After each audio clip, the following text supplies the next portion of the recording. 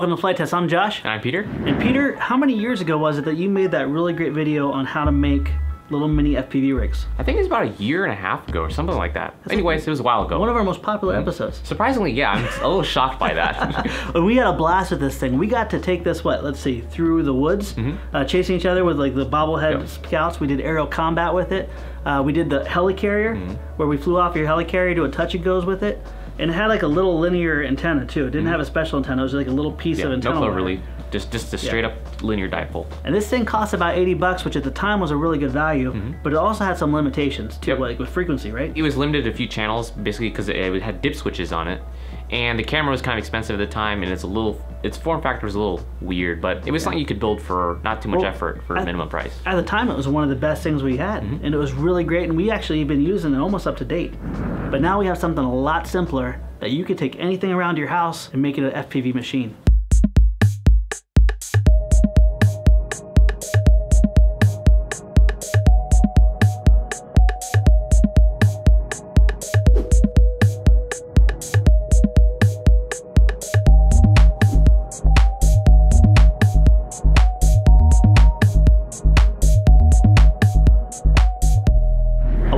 Ago, we did an episode on the Blade Nano FPV, Mm-hmm. and it was a really great unit. We did that with the uh, a couple other FPV units that used Wi-Fi links, right? Yep, those are not, I wouldn't go to those for real, real racing. There's too much delay and lag with those systems. These things have changed it, and a huge shout out to Fat Shark and Horizon for pioneering this because these are awesome. Uh, but we have these in our store, and one thing is, you can take your existing Blade Nano or even a little tiny Inductrix and hack it up mm-hmm. and make your own FPV Yeah. machine. It's a great way to start learning if you don't really know if you want to go FPV right away, so you don't want to pony up the cash to buy the whole unit. You can just buy the quad itself, learn how to fly the quad, and then buy the transmitter unit. And the nice thing is this transmitter unit can be moved to other aircraft too. It's not as fixed in or as expensive as the other thing. And it even comes with a little servo, and you can plug it into your receiver. You have instant power that's regulated. You gonna show us how to put these in? Yeah, I'll show you how to solder them in. So first thing is you want to get your camera, take it out of the box, and you notice it has a lead on it. We're gonna cut about maybe two inches, two and a half. Go ahead and measure out your unit first to make sure you got enough cord to reach to wherever you want to go. The next thing we're gonna do is we're gonna remove the flight controller board from the quad just so I can get to the solder points. Because on the top they put a little bit of silicone adhesive, so you can't really solder to that without scraping it off. So I'm just gonna go and plug this board out, unplug the two pins, and pry it up so I can get to it. Once I do that, I'm gonna make sure I solder the red to the white because in this case they're using white as positive and black as negative. So make sure you carefully solder those. That's gonna be the hardest thing to do. And when you do this, you wanna make sure you get a very good iron, very fine kind of pointed iron to do this. An SMD type iron is the best. And chances are you guys probably won't have one of those. So I'm gonna use this kind of blunt iron to do it. So anyways, it just takes a little bit of time and skill and get on there. And if you do make a mistake, you can heat the iron up and kind of just scrape it back and forth and kind of flick the solder off. So once that's done, we're gonna go and close it back up, plug the battery leads back in, and also we're gonna glue the camera on too. So I'm gonna use a little bit of hot glue for this in case I wanna remove the camera, because if you have some denatured alcohol, a few quick drops around the hot glue will easily release these so you can move the camera from the machine without destroying it.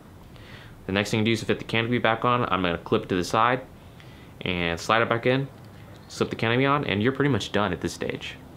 And if you guys are doing the Inductrix, it's pretty much the same procedure. It's actually a little bit easier because the uh, solder pad's on the other side. So you just take the cover off and you solder here and there. And the glue, I glued the camera on like this. You guys can do uh, whatever way you want, but this is why I found it works well for me.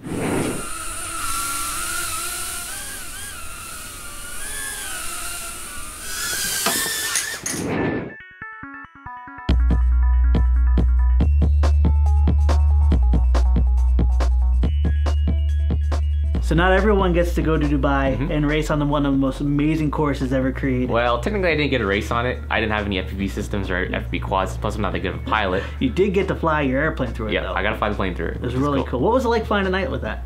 Uh, pretty surreal. It looked, like it looked like kind of like a Japanese video game with the city and all this crazy stuff and the lights everywhere. And it looks like that. What do they call it? the Tower of Terror, the Tower of Doom, or something? That you hit that just the same as everyone else was. Yeah, huh? with the jet. Very cool.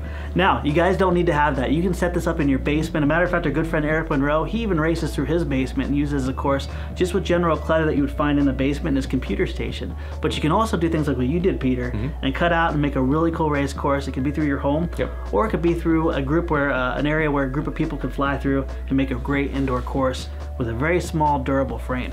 So these systems are pretty great. I mean, you can use them for just about anything. You can even strap them to paper airplane if you want. One of the kids at Neff put one of these on this car and drove around the carnage at the FPV field and just followed the cars around as the planes were crashing left and right.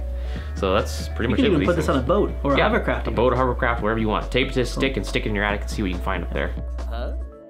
Now, one thing is, is a lot of uh, new regulations have come out. They talk about if it's over what the 0.55 pound limit. Mm, uh, two sticks of butter, apparently. What's that? Two sticks of butter. Who even has two sticks of butter? If your plane is heavier than two sticks of butter, you got to technically register it. The cool thing is, is we have a lot of really great foam board designs that are minis that you could put this rig on and have a great FPV experience without ever needing to register your airplane, all for under 100 bucks.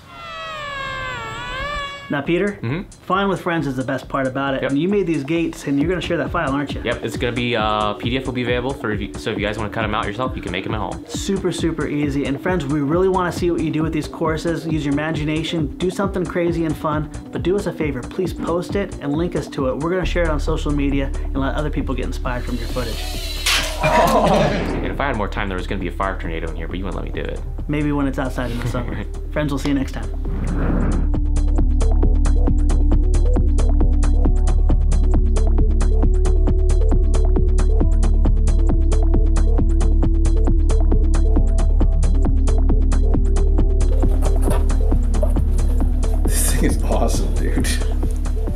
we do more episodes like this?